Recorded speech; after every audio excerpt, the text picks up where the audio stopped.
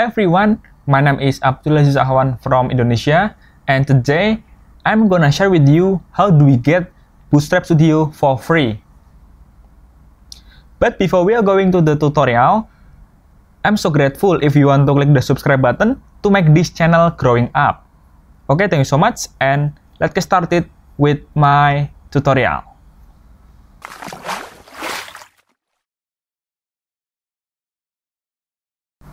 First of all, I want to say sorry for my English is not good, so if the word I use are incorrect, please help me to point out.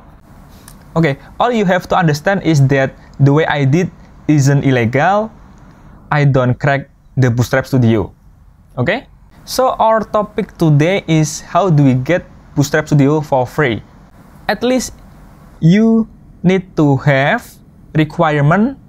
First, make sure you have a university email or an educational email. And the second, you need to have GitHub account.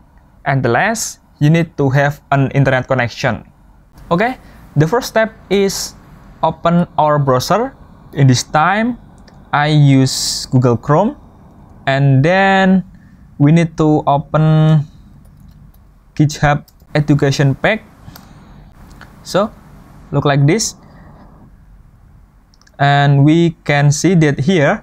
See what's in the pack. So we can see here the tool.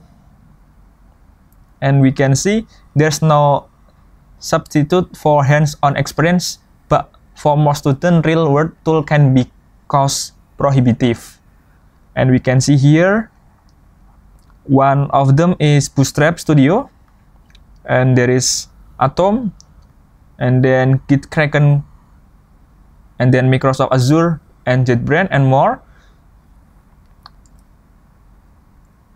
And then we need to click here, get the pack,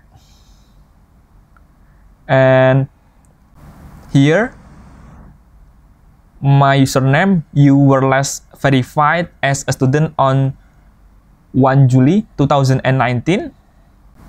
If you haven't yet verified, you can click this button. You need to verify your student email. Okay, and then if you have verified, you need to go to you need to go to Bootstrap Studio, bootstrapstudio.io slash student pack. And here Bootstrap Studio is part of the GitHub Student Developer Pack. And we can sign in with GitHub.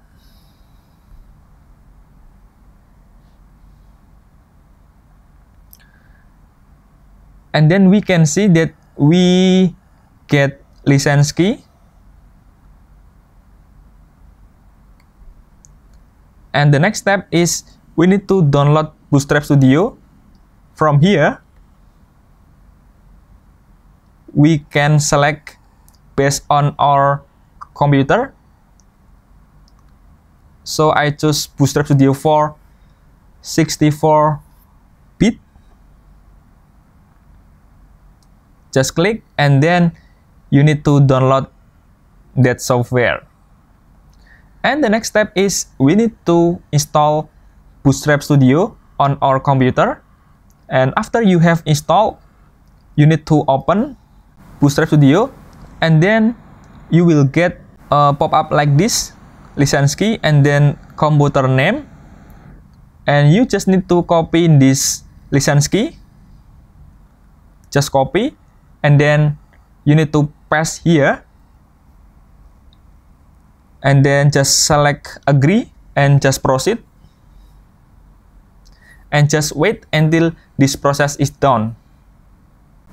So we can see that we have successfully uh, apply key for Bootstrap Studio and we can start create project from Bootstrap Studio. Okay, I think enough for this section. If you have any questions or comment, write it down on the comment field. Thank you so much and see you again on the next video.